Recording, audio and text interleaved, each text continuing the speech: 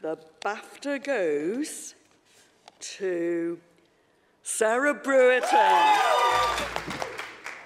Um, I can't do anything without a script, so... um, thank you, and thank you, BAFTA. Um, I want to express my gratitude to Peter, Russell, Phil and Nicola for including me in the production of such a beautiful script, which has resonated with so many and had a positive impact on both the understanding of HIV and reminded us of the ever-present need to challenge stigma and bigotry. Thank you, Peter, for once again proving to be one of the most trusting, caring and creative people I've had the pleasure to work with. My sincere ad admiration for Ellen, Dominic and Andrew. Um, thanks to the support from my agents, Georgie and Ellie, and my brilliant assistant, Daniel.